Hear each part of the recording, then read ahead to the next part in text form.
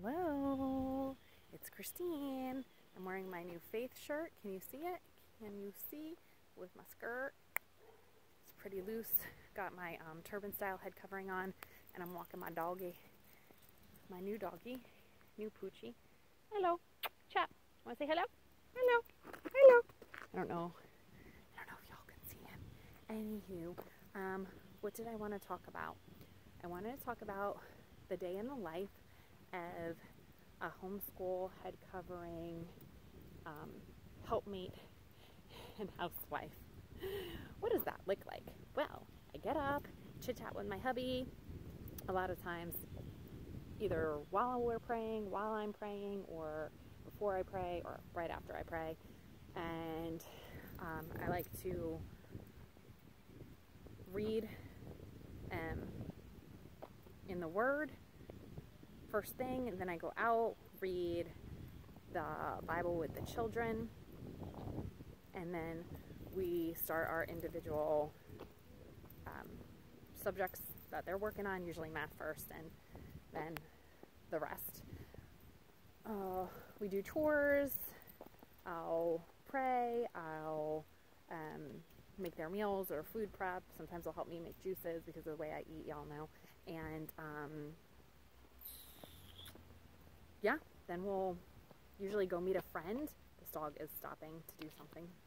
Anywho, then we'll go meet a friend or just go walk um, at a park or a playground or go to the library. And the Lord usually, usually gives me an opportunity to minister to somebody, share the gospel, you know, fellowship um, with other brothers and sisters in Christ through, um, I don't know, gathering at a local salad joint or um, definitely with other sisters who homeschool because we have time. And, you know, if they're not in my vicinity or um, we just can't get together that day, then we'll use Marco Polo or we'll um, call one another and spur one another on. and so I just wanted to tell you, sorry, it was garbage day, so if you see the garbage cans all around the neighborhood, that's why. Um, Seek the Lord, inquire of Him about what your life is to look like. Are you living out His purpose for you? Are you living out His divine, perfect will for your life? Um, this is a time of Purim and fasting and turning around what um, the enemy's plan was for you and your bloodline through prayer and warfare. I'm going to turn this way just because there's somebody over there and I don't want them to think she's talking to her phone. Um, and yeah, so I think it's vital in these last days. I think it's urgent and important for us to, um, here comes a car, of course. I think it's urgent and important for us to uh, make the most of every opportunity. I've spoken about this um, on these videos before, knowing the days are evil and that we are number our days right so that we can gain a heart of wisdom.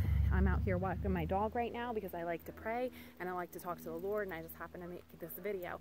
But my children are winding down for the day. Daddy's finishing up projects. I call him Daddy. You know, my husband, Aaron, is finishing up projects in the backyard because he got off of work and usually we'd eat together.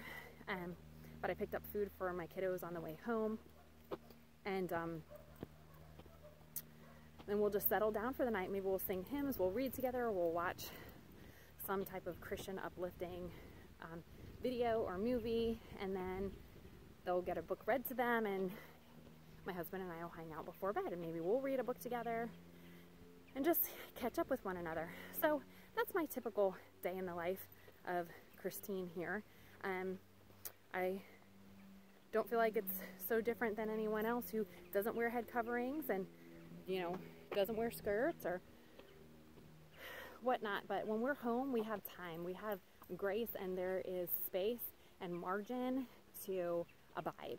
And so I just want you to um, really petition the Lord for that because He wants to give you it. He wants to give you rest in Him and peace and joy.